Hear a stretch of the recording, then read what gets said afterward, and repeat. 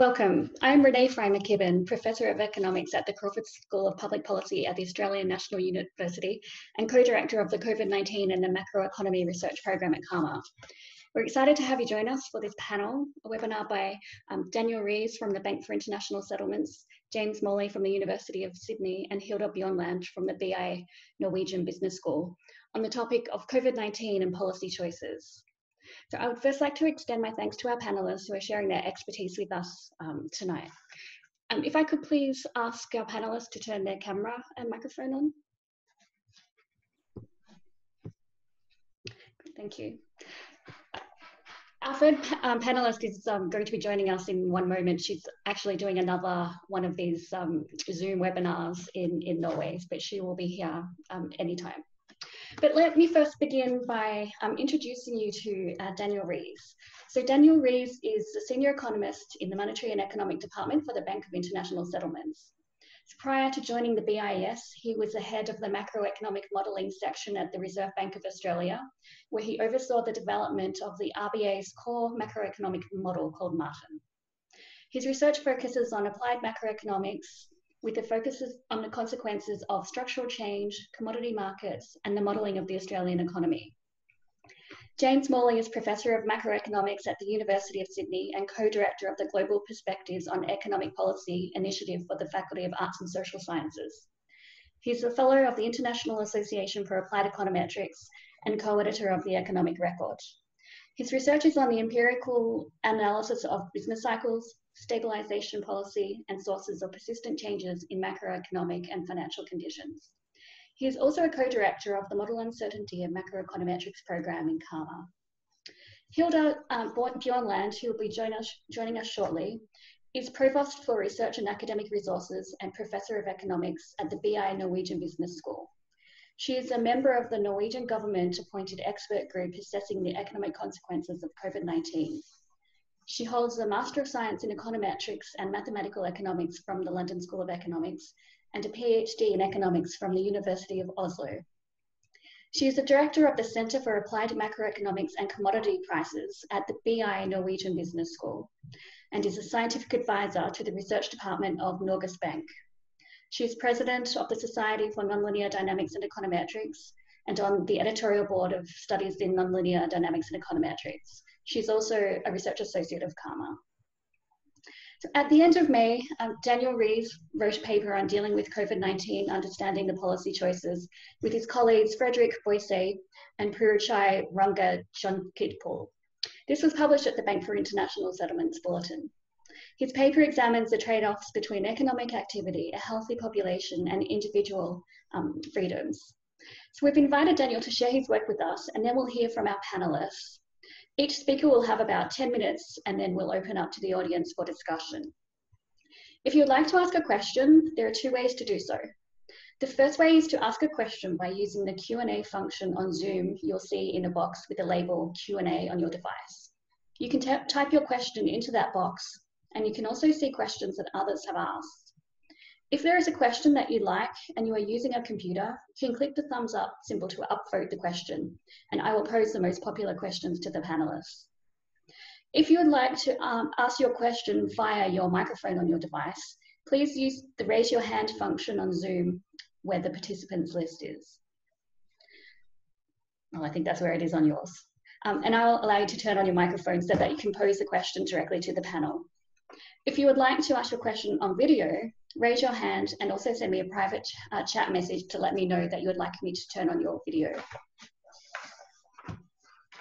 Before uh, we begin, I'd just like to let you know that we are recording this session and it will be available on the CAMA webpage after the event.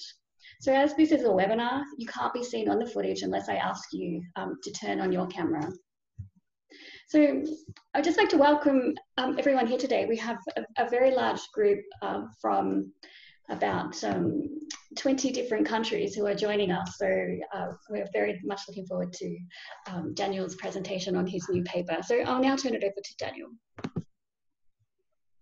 Great. Thanks a lot, Renee, and thanks to the people at CAMA for organizing this event.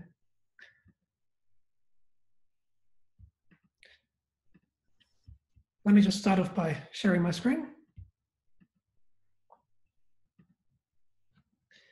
And they compare the health outcomes under those policies to an alternative where no containment policies are put in place at all. And under moderate social distancing, the mortality rate of the virus is estimated to result in about half a percent of the population fewer dying under moderate social distancing than under no policy response at all. So that's, that's quite a significant health benefit. In order to convert these, these health outcomes into a dollar value, they use a statistical um, measure known as the value of statistical life. So this is a, I won't go into the details of how this is calculated, but this is a standard measure used um, by, by governments in evaluating a range of health and environmental outcomes. The nice thing about US value of statistical life estimates is that they break them down by age as well, which is quite important because um, COVID is a disease that has very different mortality rates for people of different ages. Now, in the US, the average value of a statistical life, shown by the yellow dot there, is about 11 million US dollars. Although, as I mentioned, it varies greatly between people of different ages. So given the Imperial College estimates of the number of lives saved by moderate social distancing and US estimates of the value of statistical life, Greenstone and Nigam calculate that the benefits of moderate social distancing in dollar terms equates to a bit over 30% of US GDP. So that's the, the pink bar on the far left there. So that's a very significant, um, significant benefit um, of these policies. Now, as I mentioned, a number of estimates um, by other researchers have been put together. Greenstone and Nigam is probably at the high end, but by no means the highest estimate that is out there. Now, what we do in our paper is just try to highlight um, some of the sensitivity of these estimates to different assumptions. And the way we do that is by constructing a similar set of estimates for Australia, Switzerland, and the United Kingdom. That's what is shown there in the next, uh, next three set of, um, of results in the left-hand panel. Now we choose those three countries because we are able to find quasi-official value of statistical life estimates for those countries. Now what we do is we take Imperial College estimates of the value of lives saved from moderate social distancing for those three countries.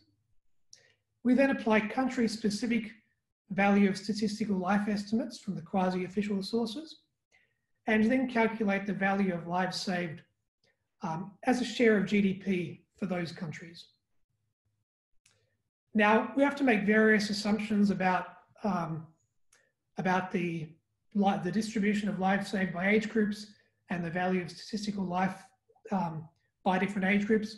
These are all very controversial assumptions, but you know, it's kind of the best that we are able to do.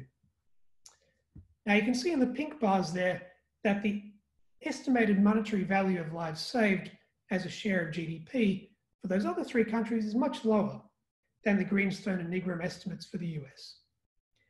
Now a small part of that is due to differences in the estimate num estimated number of lives saved um, from these different in these different countries. But by far the largest difference uh, comes through differences in country specific estimates of the value of statistical life. Now, we don't take a view on which value of statistical life estimate uh, are the correct values um, and whether there really is a substantial difference between countries. We, we, think that's very controversial. All we're doing is highlighting here that um, making different, different assumptions, you know, which are all um, you know, all very plausible assumptions can give you very different results. Um, but as we say, the Greenstone and Nigam estimates are by no means the highest in the literature. The other thing we would highlight is even under very low um, estimates of the value of statistical life, the estimated value of containment policies um, is very, very high. So even the lower, lower bounds there are sort of in the order of 10% of GDP, which is a very high estimate. So that's the benefit of, benefit of containment policies. That then has to be weighed up, weighed up against the economic cost of these policies. Now, not a lot of work has been done on quantifying these costs. One very crude exercise that, that you can do is to do a kind of a difference in difference analysis that we do in the middle panel there.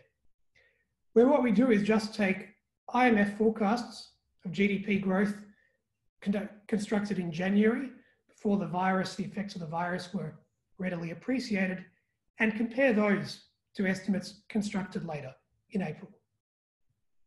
And just focusing there on the middle uh, set of estimates for the middle panel, so advanced economies, so comparable to what we've got in the left-hand panel. The downgrade in GDP growth estimates for 2020 between January and April is about eight percentage points.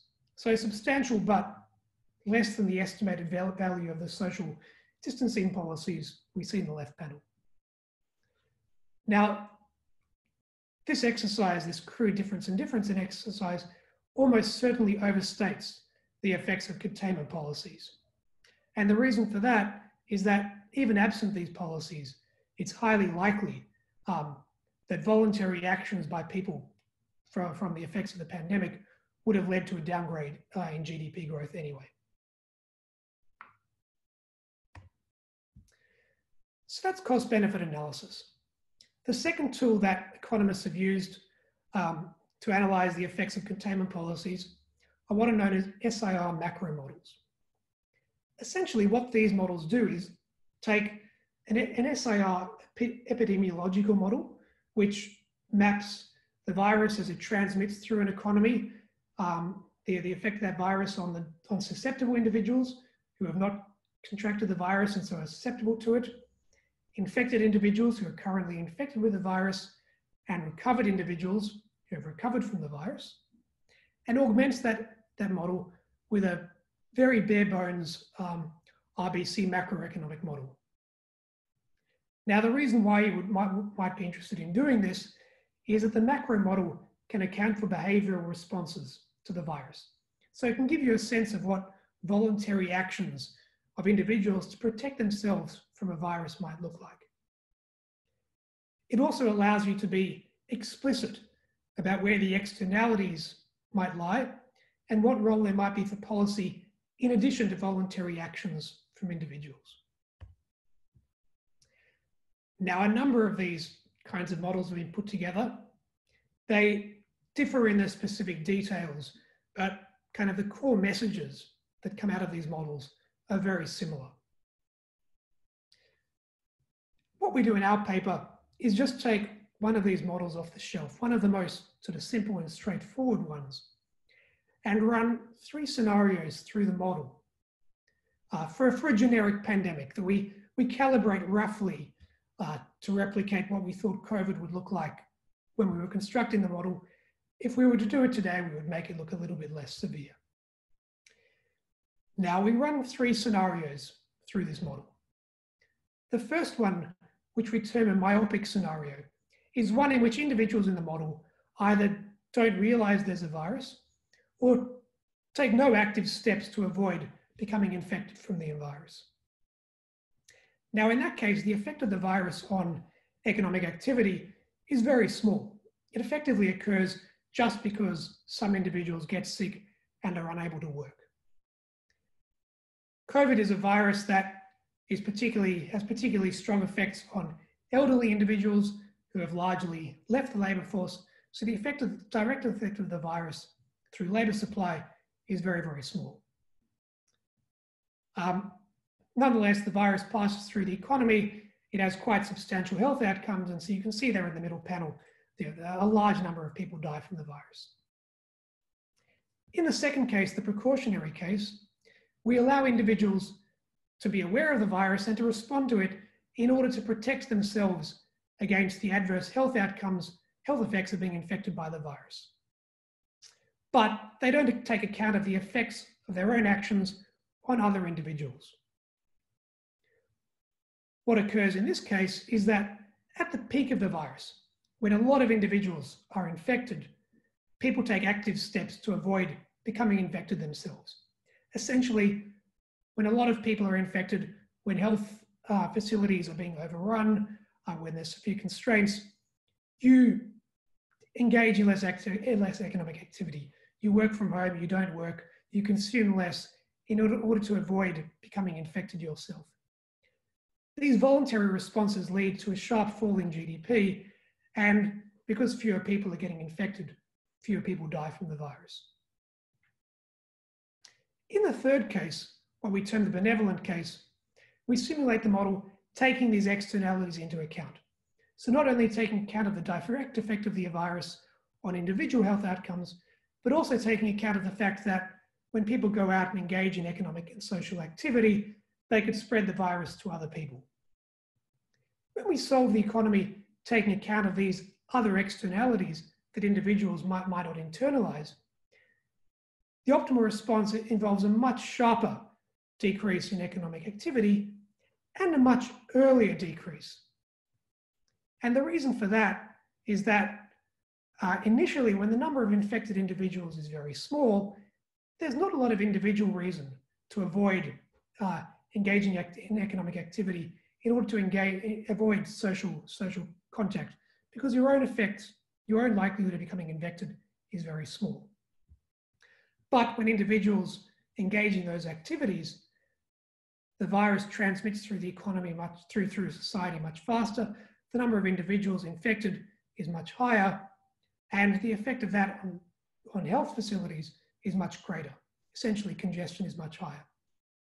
So taking account of these effects uh, results in a much optimally much smaller um, level of economic activity with much sort of very substantial health benefits shown there in the middle panel.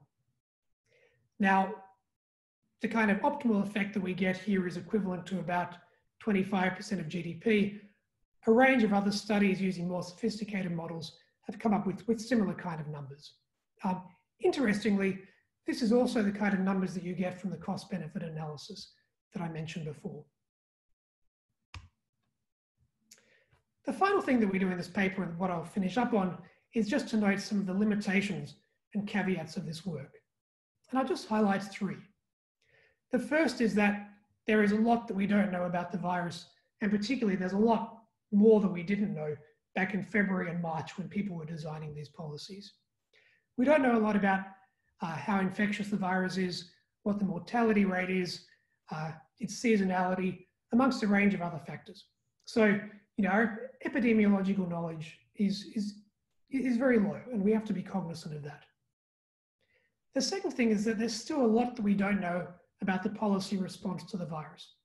So what kind of policy responses are going to be most effective in containing the virus? When you are not aware of that, the natural thing to do is to engage in very, very blunt tools, widespread lockdowns. But as we learn more about it, you know, you'd think the optimal thing is going to involve a more targeted set of policy responses. The final thing to note is that the models that we're using to analyze the policy responses are very stylized. You know, compared to the kind of models that we use to analyze monetary or fiscal policy, they're very, very limited. And so, you know, I think we have to be very cautious about interpreting the quantitative predictions of these models. I think the kind of general messages we get out of them about the externalities and so on are likely to apply in any setting. But you know, in terms of what specific kind of lockdowns are going to be optimal, I think that we have to be very, um, very cautious about taking, taking the predictions or recommendations of these models literally. Um, and with that, Renee, I'll hand over to, to James. Great, uh, thank you, Daniel. So we'll turn it over to James now. Thank you for having me on this panel. It's really actually quite a pleasure to be on the panel with um, both Dan and Hilda, um, and great to have a chance to see them. So let me just do that. Yeah, that's full screen mode. And then let me here share the screen. Okay. Um, there, does that work now? Is that the full screen mode now? Yeah, great. So um, I, I, figured Dan was going to talk about his uh, really uh, insightful um, piece, uh, the BIS, summarizing um, a lot of the literature on how to think about these trade-offs uh, and the costs, uh, both cost-benefit analysis and structural macro models that uh, bring epidemiological assumptions into them. Um, so I won't talk as much about those, uh, but I did, because this is a panel discussion on policy choices, I did want to talk about policy and also to some extent, um, you know, I think Dan actually said it exactly right that well, we use those macro quantitative models to think about um, the trade-offs. Um, we should have some skepticism over exact quantitative uh, results given that they're highly stylized models and we're calibrating the parameters. But they do give strong insights, um, including uh, the, the, the, fundamental result that I think comes across a lot of those macro models that you want to front load um, uh, lockdowns, uh, our, our, containment policies, um, and that um, uh, basically that's that's a fundamental result that that seems to happen in a lot of it. And of course, that maybe naturally, if you're able to target uh, policies more selectively, um, containment policies, then that's better than if it's a one size fits all. But I'm not going to talk about that as much, um, except to the extent that I think that whole literature fits into um, this this narrative here. Oops, there um, that we, we're seeing in the media in Australia and I think even globally um, that there is just this basic trade-off between uh, the economy and and um, and the health response. Um, so these are just headlines from the Australian newspapers from this morning. Um, uh, Australia now is quite clearly in a recession. Uh, I think that was pretty obvious, but the numbers for the first quarter of of the the year came out for GDP, and it was negative even in the first quarter before the the uh, the crisis really took hold. Um, and so, uh, since it will clearly be negative in the second quarter, we're in a technical recession, but we're just obviously in a recession as it is. So the Australian says the cost of beating the virus is recession. Um, uh, the financial review maybe takes something a more generous approach to whether that might have been a good idea, but they say Australia's recession is the price of humanity. So that's the, the narrative uh, that we see in the media and in a lot of discussions. And I, I would say my view is I think that narrative is vastly oversimplified. Um, it's basically wrong in, in, my view, and I'll talk about why. And I think it's a, it's a somewhat dangerous narrative um, in the sense that um, it may lead to bad decisions in the future when we have if we have similar sorts of outbreaks. Um, so there we go. What I think the, the real policy choices, that's what I wanted to talk about in terms of the panel. So first, um, but just to reiterate that trade-offs with public health measures that are obviously designed to quote unquote flatten the curve are almost always framed in terms of the cost being the cost of recession um, with the, the, the, consequences that come with recession. So not just the output loss, although Dan mentioned that that's a, a, basic measure people might look at. Um, but job losses um, are obviously important, but even potentially health health outcomes. Although the evidence on what those are in recessions is mixed, but things like suicide is an extreme example. Um, worries about that uh, these these containment measures may have led lead to high uh, suicide rates, people that projected that were looking at pa past recessions and projecting what might happen in the future. Um, but the key thing is what is to understand in terms of the trade-offs and the policy choices what what is actually due to the virus versus due to the containment measures and dan alluded to that in terms of uh, already you might not think the full cost of recession can be put onto the containment measures um, so it's the counterfactual that matters. If you didn't employ um, particular containment measures, what would it, what would have happened? And I would argue the uh, a global recession seems like it was inevitable, um, given coordination issues, at least that uh, you know if you would think about how different countries would respond um, that's going to immediately raise coordination issues or within a country and so forth. And and given the private responses that that Dan uh, alluded to, that economists introduce into epidemiological models, that people will choose uh, to respond um, by changing their economic behavior, and that that alone could lead to recessions. Um, you know, examples could be Sweden, where there's a coordination issue, I suppose, about opening, keeping borders open or not keeping borders open, and Uh, but there's also, um, uh, you know, private responses as well that there will be um, likely as, as, severe of a recession there as, as um, in countries that had more restrictive policies. Or say within the US, um, you know, states where uh, people value their liberty particularly highly and may have ignored uh, restrictions early on at least, um, we see the unemployment rate has shot up just as badly in, in those states as in other states where um, containment measures were, were followed more. Um, or Australia, I'll just give the example, the fact that there was, uh, the recession clearly started in the first quarter, uh, well, that was suggests it's not just due to um, uh, the, the crisis, partly due to the bushfires in Australia, but also um, it's due to the fact that there was COVID-19 in China, and China is a major um, trading partner. So uh, that's a, it gets to the coordination issue that that it the, the cost of the containment measures in Australia were not the entire recession that we faced. Uh, so what matters, the real policy choice, is what's going to be the long run consequence of the, the COVID 19 recession. And I would argue those are not yet determined, and, and they're going to depend not so much just on um, how uh, we think about health and containment measures, but they're going to depend on the fiscal policy responses. So if we think that negative health outcomes are the consequence of a severe recession, um, job losses that might have been temporary become permanent, then the question is what's going to happen in the long run from this recession? Will those job losses be temporary or permanent? Um, why do I say fiscal policy? Uh, well, first, I don't, I think as I've already tried to argue, the decisions to ease lockdown should not be just based on this, these economic trade-offs. They should primarily be guided by health and social considerations. Uh, we should listen to the experts, the epidemiological experts.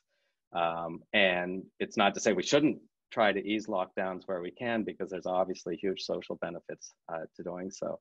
Um, but the decision shouldn't just be channeled or, or, framed in terms of economic benefits.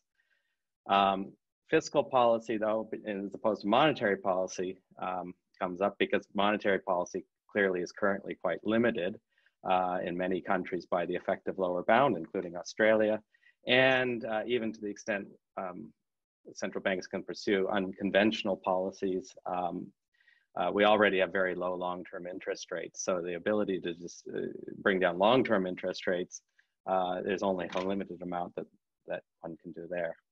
Um, I, I guess it's probably worth saying, um, whether it's obvious to, to everyone in, in the same way, I think there would be a strong arguments to say that the economy is not just going to self-adjust back to uh, potential output back to, to where we were before the crisis quickly, um, and certainly not just due to um, things like tax or industrial relations reforms that um, seem to be the focus in politics domestically in Australia right now, or spontaneous private investment. Um, I think the, the risk we face is instead uh, the opposite, that there could be a debt deflationary spiral where we'll see already there's uh, disinflation, uh, possible deflation in, in Australia in the second quarter. The US in uh, the past few months has had deflation. Um, this is clearly going to feed into wages. If you have lower wages and prices, that leads to higher real debt. Um, and of course, uh, that defaults will occur in, in severe recessions as it is. Um, and the other thing that we, we've seen from um, the, the literature in economics is that uh, past pandemics seem to have very per persistent economic effects, primarily through um, affecting higher precautionary savings. So this uh, Oscar Jordan co-authors have looked at a number of past pandemics and find that when you've got the greater uncertainty like we do now, there's higher precautionary saving. Um, that's relevant for fiscal policy because um, it, I don't think it's going to feed into this, this boom of private investment, but it would keep the cost of fiscal stimulus low. Um, I put lower because uh, Australia, of course, has a lot of fiscal capacity.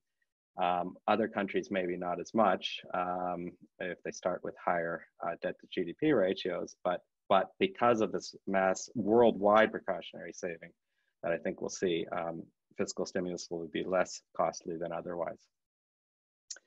So I want to talk um, a bit more about that uh, policy, fiscal policy, and and how it relates to what we've learned from the past in more of an empirical literature. So Dan's of course covered the response in terms of theoretical modeling um, to the crisis, and and we've definitely learned things from that. But we we can learn from the empirical literature what's happened in the past. That example of of uh, Oscar Jorda and the effects on precautionary saving of pandemics is an example of that.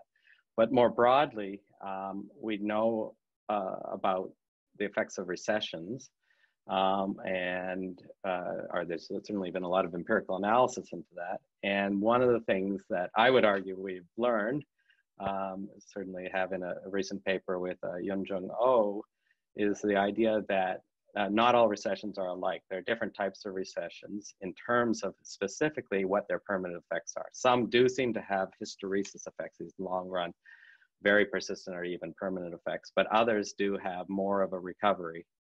Um, and that seems to be fairly stochastic, is what we find when we, we estimate models that allow uh, for different types of recessions. So, what is this recession going to be? Which kind is it? This is where people get a bit into this language of L or U. Uh, I think the letter of the alphabet's not so relevant as much as what are the permanent effects are going to be. That we don't know yet. Um, but what we do know is even in the case where they aren't as permanent in, in terms of the effects, but it's a deep recession, and even if you get a full recovery, there's still large economic costs to the extent that there seems to be asymmetry in the business cycle.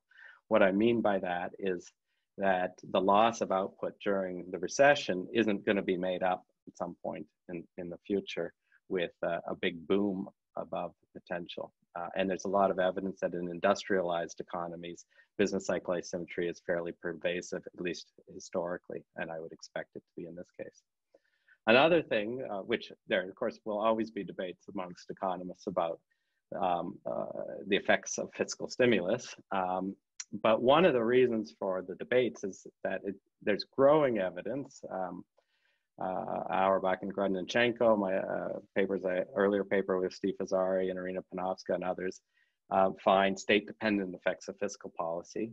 And what, what we find in particular, especially in a more recent uh, paper, is that both for tax policy and government spending, um, those state-dependent effects are very much related to the degree of economic slack. That's a, that's a major driver. And when there's a large degree of slack, um, then fiscal stimulus is, is most effective at that time. Now, we're in an unusual recession. Everyone knows this is not just sort of maybe a traditional recession if you think of being driven purely by aggregate demand shocks. It's a mix of supply and demand shocks um, or as uh, Guerrieri et al. referred to it as a, it's a Keynesian supply shock. Um, and a, an aspect of a Keynesian supply shock is um, it, you restrict part of the economy, that's going to spill over and lead to what looks like an aggregate demand collapse for the, the whole economy. Um, but in that setting, when you've restricted the economy, traditional multipliers or fiscal stimulus don't work um, as, as, effectively. The multiplier is smaller, at least when you're in the lockdown stage. And so they argue for using social insurance policies as the way to, to address. So that's maybe less empirical, but a theoretical point they make, but one that we've seen play out um, uh, in action recently in many, many countries, including countries who might not have expected to uh, embrace social insurance policies to that extent. Um, but the point is, once the restrictions ease, it, I think uh, it would be fair to say that, that we will need sustained stimulus. Um, and since monetary policy is less available, I think we need now forward guidance about this uh, sustained stimulus, given what appear to be very, very large negative output gaps. And, and um, I've just uh, had a recent paper with uh, Tino Berger and, and Ben Wong uh, looking at trying to now cast the output gap. And uh, I'll advertise that here. But one of the points of, of the paper is just how dramatic the, the collapse of, of output has been or seems to be. And what we're able to do is track that in, in real time uh, terms. So within the quarter, um, so we don't have the GDP data yet for the second quarter, but how do we know we're in recession? Well, all of the, the higher frequency indicators are, are suggesting not only is a recession, but the, the magnitude of it is, is unprecedented. So we look at the US context, um, and uh, depending on different assumptions about you know what employment growth is going to be in, in, in future uh, months, uh, we get quite a dramatic um, decrease in, in the output gap. Uh, so there looks to be a lot of potential um, for fiscal stimulus to try to um, have its bigger multiplier effects once uh, restrictions ease. Uh, we haven't looked at directly at the Australian data. We plan to. Uh, there's a lot less high frequency data. Um, but I did want to talk about one because I think it gets to this idea of, of um, uh, that we shouldn't just assume the simple trade-off. Um, one high frequency measure, uh, which is very important in, in terms of this US uh, data as well, is consumer sentiment. And um, I would put it that we've seen a, a tale of two countries by comparing uh, the Australian experience and the US experience. And uh, this is on, if the scale is small for you to see, it's on the same scale for Australia and the US consumer sentiment since 2017, bumping around 100, 100 um, both indices. Um, but then we have, of course, the crisis hits and a, big collapse for Australia. But then we see a partial recovery uh, from that collapse uh, in May. And Australia, of course, has experienced a very uh, low medical crisis uh, as a result of those containment policies. And, and one can imagine the idea that, that stimulus could be more effective in an environment where there's a recovery in sentiment.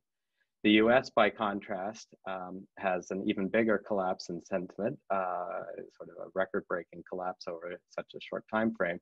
And in May, it flatlined more. And, and in the US, of course, we're still seeing a rise in numbers of cases and, and deaths and so forth. So, um, so this idea that there's just this trade-off, uh, I think, uh, is, is called into to, to question.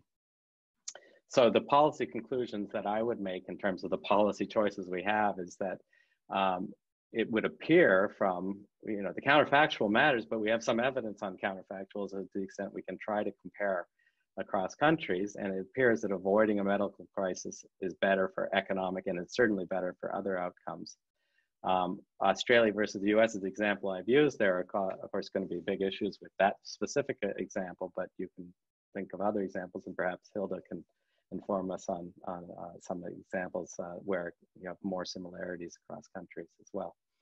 Um, the second policy conclusion I'd make is that rather than thinking about containment measures as the only policy instrument, which is often how this public discourse uh, has, taken it, um, to deal with economic outcomes, policymakers need to focus on, on fiscal policy uh, as an al alternative instrument um, and, and a more sensible one to address the um, the economic consequences of the virus, uh, but also to try to mitigate uh, some of the, the negative social consequences of recessions that, that we see. We need to mitigate the recession. And then um, the, the last sort of thing is that the output gap appears to be very negative, maybe more negative, uh, say in the US than it would be in Australia, where we do uh, look at a nowcast measure for Australia. Uh, and so that's going to require a sustained fiscal stimulus uh, to avoid a debt deflationary spiral. At least those are my thoughts on it. So thanks, I'll stop there. Great, uh, thank you, James. So we will now turn to Hilda for her presentation. Okay, so um, assuming you can both see and hear me, shout out if there's uh, any issues there. Uh, thank you for inviting me here. Uh, it's great to be here, and I really enjoy seeing uh, seeing and hearing James and Dan and, and Renee. And uh, it seems like ages since I was in Australia, but it was only in December. So uh, the world has really changed since then. Um, um, but I see that from the discussion I hear from, from James and Dan, I, I think there's a lot of similar issues that we are uh, obviously struggling with, but uh, obviously there's a lot of similarity in how we think and deal with the crisis uh, across across the globe, and in particular in in small open economies like Norway and Australia. So my focus given that I knew more or less what the other would be talking about, would be exactly to think of a global crisis uh, and uh, uh, policy choices in small open economies and, and what to think more in terms of what, what's the road ahead of us now. So let me just start by the obvious, uh, but uh, I think I don't know how it is in Australia, but I think that even in Norway, we need to keep, as economists, reminding uh, others that this is a global crisis. This is not just happening in Norway, because we can get very focused on everything which is happening here and how many are ill, how many are uh, infected, and etc. etc. This is a truly global crisis, uh, and since the outbreak started in, in China in December, the disease has now spread to more than, I think, 200 countries and territories. Uh, and the epicenter from China to Europe to US and then and then now in Brazil. And obviously, in the absence of vaccine or treatment, the governments worldwide have responded by implementing these unprecedented containment and mitigation measures. And uh, when the crisis started in China and they started with this um, this lockdown, uh, as IMF call it, uh, I think most people, at least in Europe, thought that well, if this would be the case in Europe, it would never happen that we will be able to to close down the economy as they do as they have done in China. But as it turns out, that's what we have seen more or less, but obviously on varying scales across the world. Uh, and I think that uh, I recognize very much a debate that, James, that James alluded to in his presentation, namely the, the, the focus on the cost of, of, uh, of the lockdown, and I'll, I'll get back to that. Uh, but I think that as one, in particular from in Europe, as we saw how the crisis evolved in, in, in Southern Europe at first, um, it became obvious that without any containment, that uh, the health system would break down, and, and then abiding to this uh, this measure became by itself uh, uh, something that I think most people understand that they have to do, at least in, in, in a civilized economy. and I think also that um, people's incentives, people's uh, fright of the uh, of the disease uh, should not be underestimated because that itself has made many people even respond stronger than what the government sometimes have uh, suggested. By taking uh, children out of kindergarten before even lockdown and, and, and not going out at all. Um, so uh, this obviously has uh, resulted in a lot of economic losses, but then again, it's important to emphasize uh, from, uh, from a small open economy perspective that even without those, we would have had a severe hit to the economy uh, because the global economy is closed down. So even if we had responded differently, and I, you will see that for Sweden in a second. So, but first, um, uh, obviously with all this measure, it's it's um, uh, the question is, did the measures work in terms of reducing uh, people infected? And although that's not my field to, to discuss that, I'm happy that I, IMF has uh, at least uh, reported some uh, new studies, and there are studies showing that um, the, the, the, containment did work in terms of reducing confirmed deaths, which you see on the left-hand side here, that life, life have been saved with this containment across the world. Uh, and that's obviously important in the sense that uh, by having people moving less around, uh, more people or less people got ill, and therefore, therefore the cost to the society of huge uh, uh infections uh, uh, became smaller. so it did work in the sense of, redu of reducing death, reducing death, and, and in terms of preventing people from becoming ill. And we also saw that local condition matters, or this study shows, reported by IMF, that um, the containment efforts were even more effective in countries which had certain characteristics, and among those, countries with low temperature. Uh, Norway is one of those. uh, high share of old people, uh, low population density, uh, and also a strong health system and greater social distancing. So these are the kind of things which made um, the containment work uh, most effective. Uh, Interesting though, uh, as you might have picked up, uh, Sweden and Norway have chosen very different approaches, where Norway has, uh, like Denmark also, locked down the economy uh, quite severely, uh, starting from the 12th of March by taking children out of kindergarten, uh, schools, people working have to work from home in, except in critical jobs. uh, and uh, all kind of public uh, gathering where, where more, for more than five people were closed.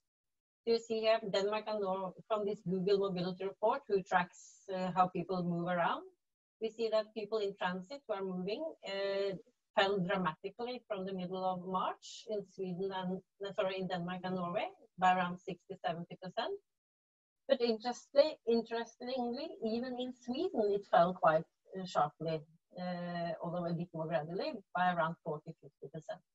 So even though in Sweden they didn't impose this lockdown, still Swedish uh, population behaved more in, in the sense of um, they reduced their activity themselves voluntarily, you might say, but uh, uh, also because the government emphasized that uh, you need to have some social distancing, but they, they, did so voluntarily.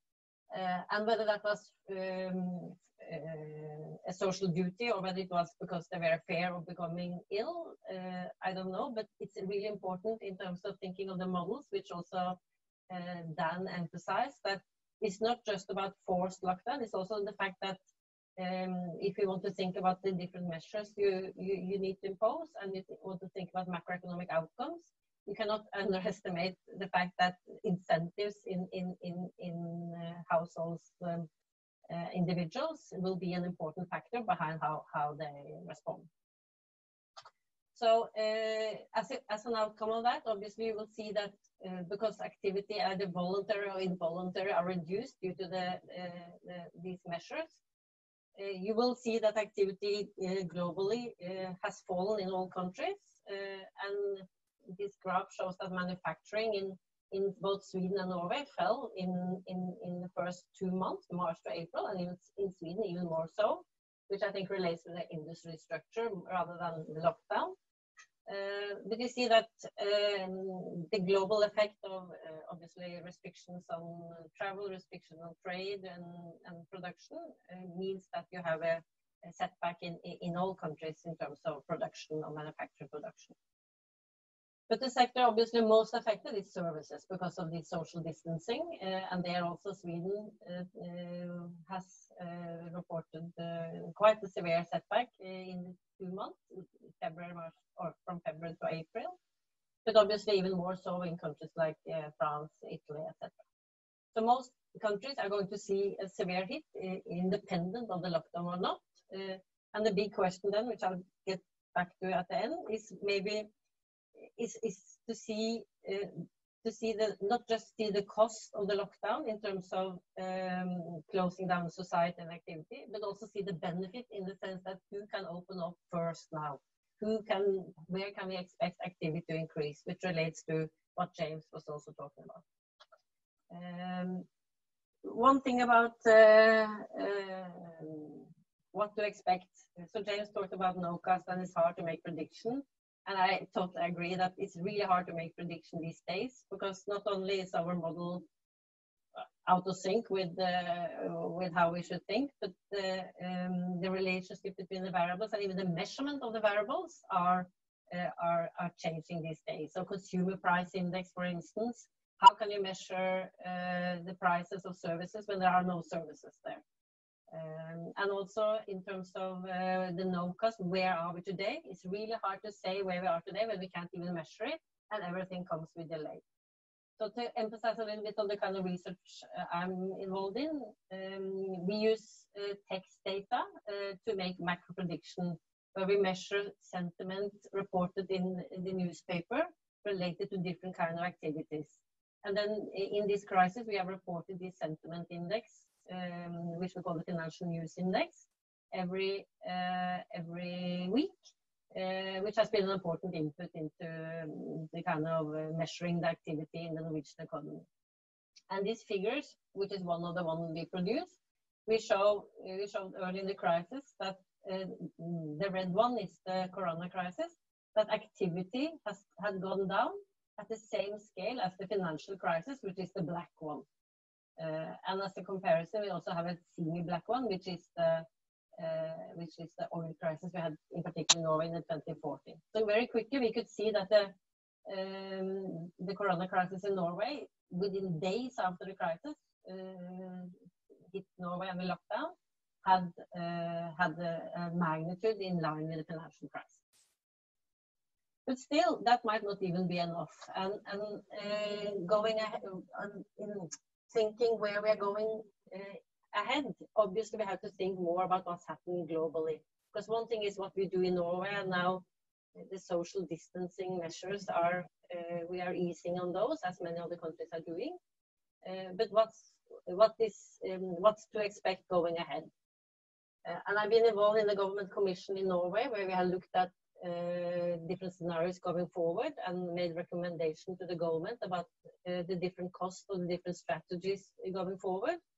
And we have calculated the economic cost going forward of uh, holding down now, um, as we call it, a scenario holding down, where we are look, where we are we are saying that the infection rate should not increase above one, meaning that you not, should not increase more than one per person, which means that you have to keep on with the social distancing and, and infection protection and testing and isolation. Uh, and the economic cost of such a strategy for the next year, uh, we have shown have been will be will be less than a, a, strategy which we call just to slow down which means that you will allow infection to go up quite a bit before you impose some new measures. And this economic commission, which is called the Holden Commission, by, named after the leader, shows that one of the issues with choosing like um, a slowdown infection um, strategy rather than uh, a hold down strategy is that when people will see that infection rates go up again, that more people die, they will self-impose uh, this restriction again because of fear and uh, um, of being affected. So even though if you don't impose restriction, you will see that uh, household will behave as with the restriction, as we have even seen in Sweden. So we uh, recommended then um, a strategy of continuing of holding down going forward, uh, but not holding down in terms of letting people, not having um, children in school and kindergarten, these activities should be now kept open, but to, to keep on with social distancing, meaning some restrictions on how uh, how many people there could be in the room, for instance. So, that's our recommendation to, to, to the government. And in the way forward, I uh, I agree very much with, with James. I don't want to go into much detail on that, but fiscal policy is going to be important. Uh, monetary policy is effectively at the at zero now also in Norway, so uh, we are not going to have a lot of stimulus there. Uh, but it's also important to emphasize that fiscal policy measures have to be temporary. Uh, yes, they must keep activity going, but they must also send the right incentives because some of the fiscal measures we have in place in Norway have uh, given an uh, incentive which has been maybe too encouraging in the sense of um, not engaging in activity. So to, very briefly, um, you will get a compensation for a loss of production if your production is down by 30%. Uh, um, however, if it's not, if it's only done by 25%, you don't get that compensation. So obviously it will be an incentive for the firms to cut production even more just to get that compensation. So having 29 versus 30%. Uh, so we have uh, suggested some um, uh, fiscal, we have suggested some changes to these fiscal policy measures, which should also give a right incentive to increase activity. So there's a balance there uh, between compensation and also increased activity. But still, I want to emphasize that uh, there's a limit for how much you can expect fiscal policy to compensate in a small open economy. I want to emphasize very much the global and the regional factors in, in driving business cycles and make prediction going forward. And here, uh, a couple of work I've been involved with with uh, Norwegian and Italian authors, uh, where it's really the important, where we show that in all, well, most countries, but in particular small open economy, a major part of the business cycles are driven by global or regional factors.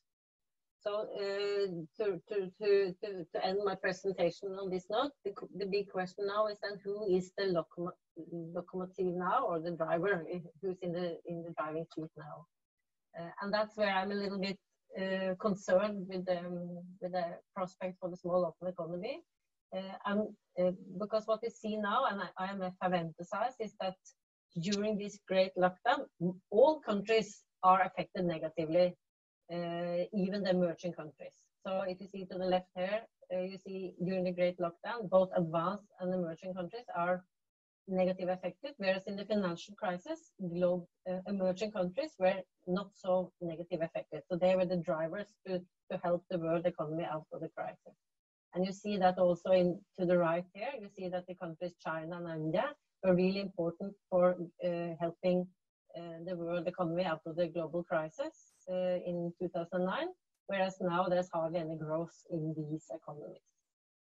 So that's the issues going forward. Um, uh, global crisis, uh, but then also there's a limited there's some limits for how much the small open economy will uh, um, how much we can expect activity there going forward as long as the world is closed.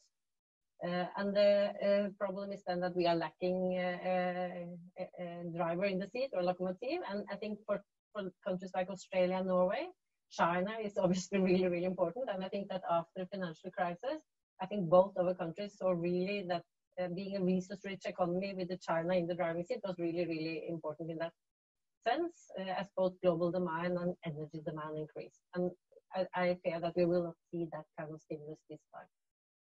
Uh, but uh, I want to still end with a, on a positive note. So low infection rates uh, can also give some cause for optimism. Uh, and the fact that we have at least seen for now, it's still early to say, but seem to have succeeded by keeping infection rates down in Norway and Sweden. It means that now we can open up more to to, to, to, each other. So um, the government has now decided that borders between Denmark and Norway can now open up for activity, but still between Sweden and Norway, it, it's not open because of uh, much higher infection rate in Sweden. So that's something we obviously didn't think about um, when this started in back two months, three months ago. But that's something we see now to be an important part of the opening up, namely that countries with has, who has succeeded in keeping infection rates can actually be expected to have um, quicker recovery going back, despite very strong measures. Okay, so I'll leave it at that. Thank you. Great, thank you, Hilda. Um, could I now please ask James and Daniel to rejoin the panel? Um, now we have some time for questions. So I'm going to invite um, Joaquin Vespignani, who is the co-director of um, the COVID-19 in the macroeconomy, to join the panel, as well as Warwick McKibbin and Joel Bowman. Would you all like to turn on your um, cameras and, and, microphone? So this is for our first round of questions. So um, we'll start off with Joaquin. Uh, hi, uh, I have a question. Oh, hi everyone. Uh, I have a question for James. Um, you know, the new hotspot for viruses is South America, um, where situation is difficult because even uh, a social a social distance policy is difficult is difficult to work because uh, good percentage of population work in the black market. Uh, and also the the fiscal position and the given that they always country have high debt and uh, uh, not independent central banks and um, and very high risk uh, premium. Um, what do you think the, the policy, the fiscal policy options there? Uh, or, what's um, I mean, you know, I, I got, you know, it's very easy to see the case for Australia, low debt and also very low interest rate that's that's that's clear situation. But for South America, seems to be much more challenging, and I just would like to hear your opinion. Yeah, no, that's a great question, Joaquin. Um, and I think the situation is often more challenging for Latin America economically. So, uh, so that's perhaps not new here. I, my sense is it that can alter the trade-off. It's not quite as easy as say for Australia with a lot of fiscal capacity to just go and um, try to use that as the main economic response. Um, but it gets to a coordination issue, which is I don't think that the solution is therefore just to let it rip in Argentina or Brazil or so forth, that the, the, the human consequences of that can actually uh, be quite depressive in terms of economic activity. Um, you know, the trade-offs that Dan raised still would suggest that even if we have some lost economic activity, it's still not worth the the loss in in, in life to to uh, ease restrictions too soon or not impose enough. but the coordination issue is, I think it's this really is going to call on uh, countries that have the capacity, not just to help themselves out, but to actually try to, um, you know, have some, uh, just like we do domestically, some debt relief measures or delaying on debt debt payments have some more foreign aid, not less. You know, think of it as a Marshall Plan for um, for COVID. We're we're going to need, and Australia probably is in a better position than say the U.S. or a lot of economies because it has such a low debt to GDP ratio to start. But the point of that is the coordination point is that really the only way we can get out of it is if a number of countries um, engage in trying to uh, reopen borders when in a bubble, at least when there is um, when when situation's safe. So like the South Pacific Islands here, that's a big issue. Can we have a, them part of the bubble along with uh, Australia and New Zealand? I think that's important to do. Um, but yeah, no, I, I think the trade-offs and the, the economic challenges are, are clearly more uh, difficult in, in Latin America. But I just don't think that means that you automatically would go to just let's let's open up and um, allow the the, the virus to spread quickly.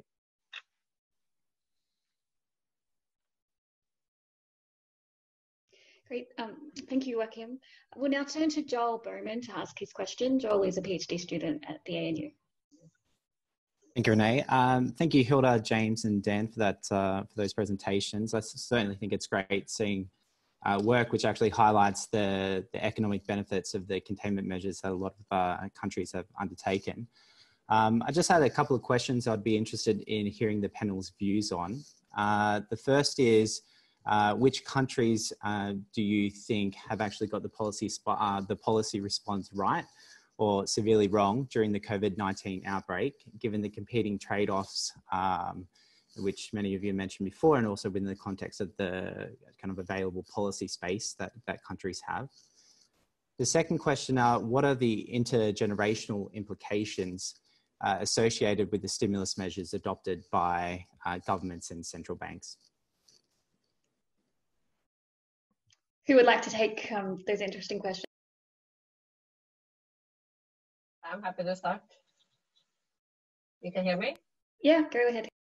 So uh, great questions and things that uh, that we are debating a lot. Uh, I think that so obviously you can hear from my presentation and obviously from the fact that we recommended in the uh, commission that uh, measure which uh, that the economic benefit of containment are larger than maybe we even thought of because people will I think that people will behave even as as if they were as if they wanted the containment if, if, if that's not the case. But that's obviously uh, that's obviously in a society which has good health system and good uh, social security network where people don't, where people have their income, guarantee their income more or less. That's obviously in, in countries like, typically like Norway and Australia, where, where, where you have uh, a social security which, which take care of you, if, even though if you have to close down the society. I think that it, it's a little bit hard to say whether what kind of measure you should take across the world, and it's still a little bit early. But for for for developed economies, I think that I, I think that uh, economic measures uh, are the oh sorry containment measures have the least economic cost. Uh, at least that's that's my view. Uh, but I want to say um, to, to, make also a, a, note about the intergenerational measures because that's a really interesting um, or that's a really important aspect of it because obviously it affects young people, in particular those who had to take out be taken out of school and out of university very differently than say us who can can be here in our office and do work as as as, as we do. But for young people, I think that the cost of being affected from not going to school, cost of uh, not being able to um, to study efficiently uh, as as they used to, I think that's we don't really know the cost of that, but I see that there are studies who shows that the cost of the young people are actually quite huge from this. So uh, I think that's going to be a, a lot of interesting research into that going forward. Thank you, Hilda. Uh, Warwick McKibbin, next question. Thanks very much, Renee. Thanks to the panelists um, for excellent presentations. Uh, I had a question. I had a couple of questions. I had one for Dan and one for James. So Dan, I mean, there's different approaches out there to looking at this issue. One is to take epidemiological models and to put on a theoretical model over the top, uh, which is what Eichenbaum and everybody has done. The alternative is to take very large scale, detailed economic models and build the epidemiological um, shocks into those models, which is what we did in the seven scenario paper. It seems if you want to quantify these things, you have to focus a lot on the economic detail. And you don't really get the quantification, as you say, from a theoretical model sitting on top of an epidemiological model. So I wondered why you ignored this other approach. And the third, the fourth approach actually is the agent-based modeling, which was presented here last week by, by Ross Hammond. But there's a lot of really interesting agent-based modeling out there. So I think from a central bank's point of view, I would have thought quantification was more important than theory, but I just leave that for you to, to discuss. Um, for James and probably Hilda as well, um, really interesting issue, and I, I, agree completely that fiscal policy has an important role. I think, and Hilda touched on this, is the issue of financing of the fiscal policy is really interesting. Now, one of the problems we have in Australia and in most countries is when you have a crisis, you throw money at it. And most of that money actually turns out to go to people who didn't actually have a crisis in the first place. So what you do need to do is switch, I think, the financing from grants and, and gifts to some sort of income and uh, revenue contingent loans. And, and so I think, you know, to get your reaction, James, don't you think we should extend JobKeeper and Job um, uh, all the different job programs to be financed by income contingent loans so the winners get to pay back and the people that don't survive uh, don't, you know, eventually they don't have to uh, therefore pay back a loan. The reason that's important is because the loan take up through the Reserve Bank and the banks generally was very low, as you expect, because it's low during droughts as well, because farmers don't know when they're going to be able to pay these loans back. So I'd be very interested in your comments about the financing and how important it is to have that in, in the discussion of fiscal policy. Thanks. Daniel, would you like to start? Yeah, um, so great question, Warwick. Um, so in terms of why we focus specifically on cost benefit analysis and the SIR macro models, to be honest, we had a we had a six page limit and that's what we could we could fit in. Um, if we'd had a bit more space, we certainly would have covered uh, the kind of kind of work that you put out, um, as well as potentially the agent based models as well. Um, you know, the easy answer to all these things is we want more models, and more different kinds of models like you suggest. Um, so, you know, what, what these SIR models give you over models that, you know, maybe have a more, a more, more detailed macro focus is, you know, especially for, you know, thinking about a new disease in a way we maybe haven't done before, you know, a model where you can sort of specifically highlight the externalities, highlight the mechanisms, you know, I, I think in this context has a lot of use. Now, where should this literature go next?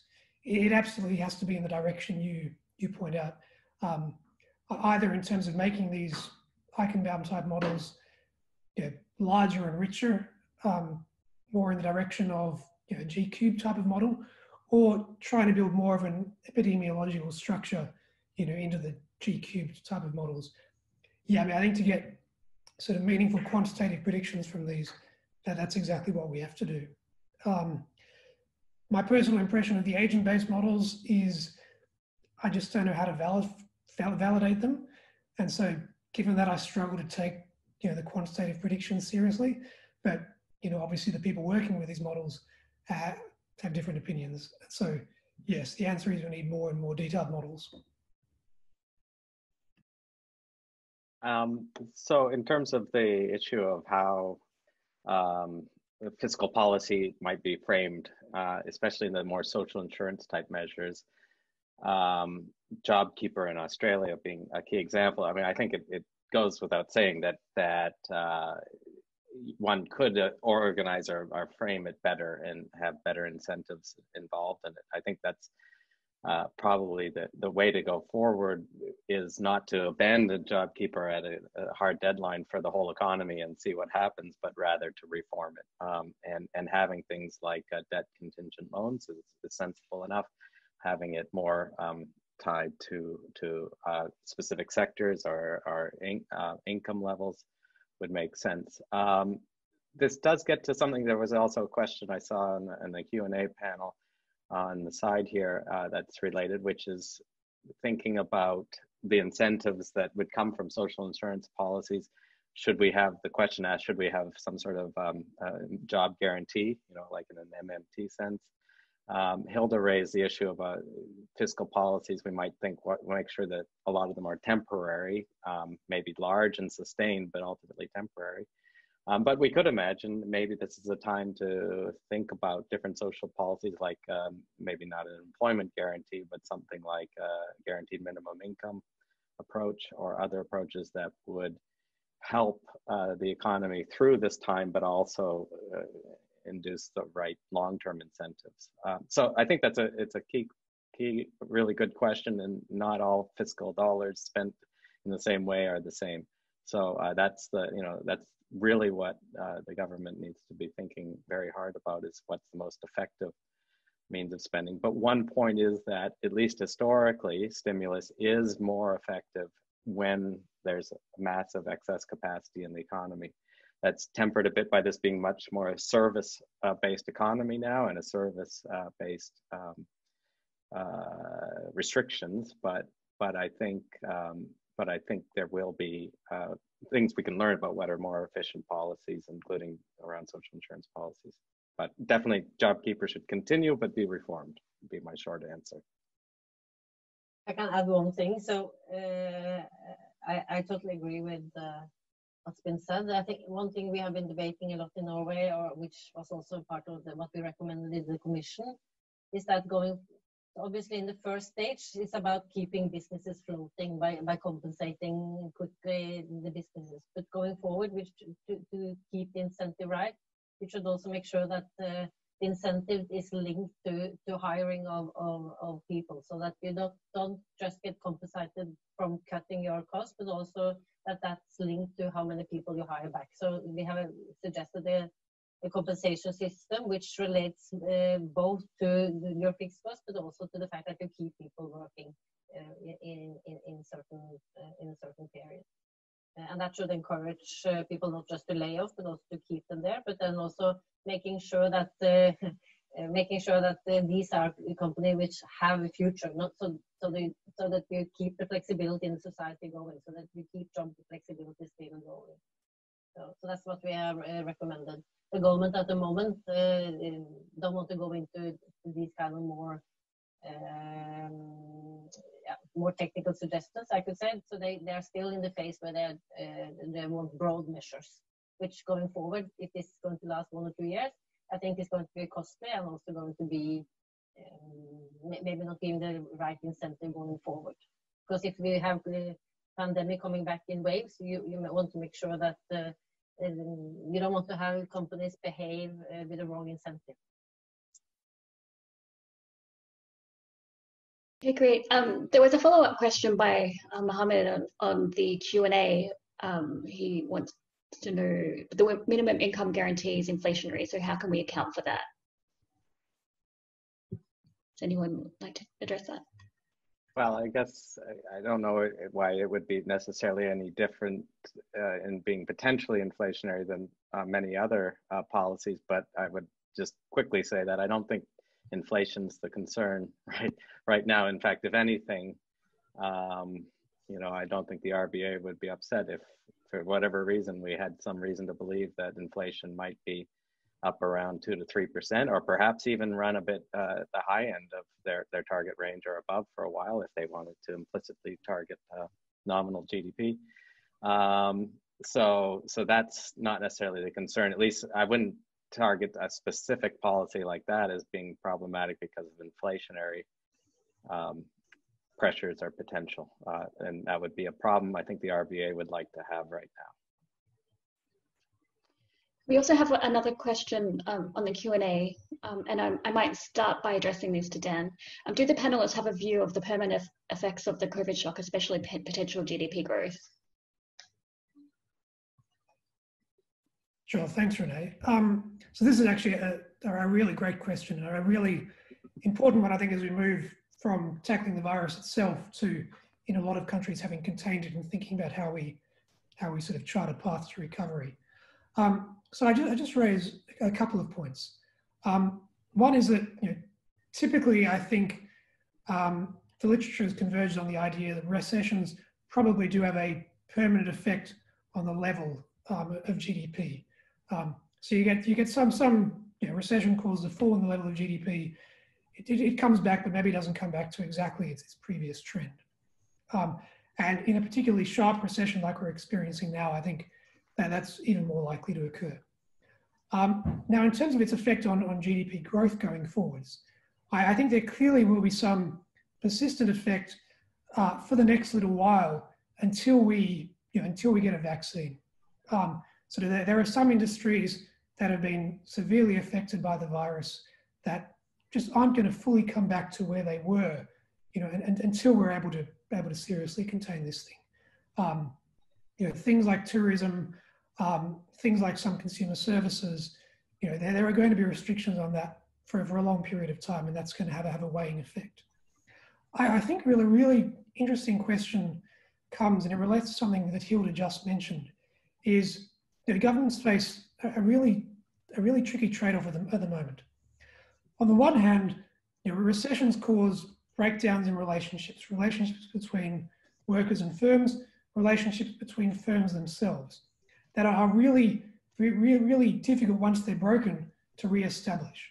So there's a clear case for policies to be put in place to prevent those relationships from being broken, um, particularly if you think that this is only you know, a persistent thing, but ultimately only temporary.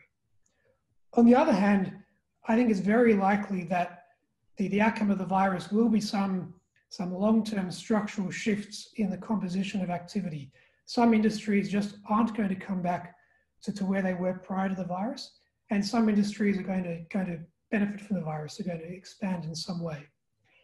And how you manage the trade-off between preventing existing relationships from breaking to allowing this needed structural change to occur, I think is a really difficult trade-off for governments to, to manage, but one that's going to be very important going forwards, um, and one that's going to be key to making sure that the effects of the virus on growth, even if persistent, aren't going to be too, too, too permanent. Warwick, um, you, you wanted to add something to that? You need to take off your microphone. Turn your microphone on. Yeah, okay. Yeah, I mean, Dan's exactly right. But I think what's really interesting here is we've seen a massive take up of technology during the adjustment phase over the last few months. So if you looked at two years, you, I would expect to see some fairly substantial increase in productivity in some sectors of the economy just because this new technology is now being brought on board.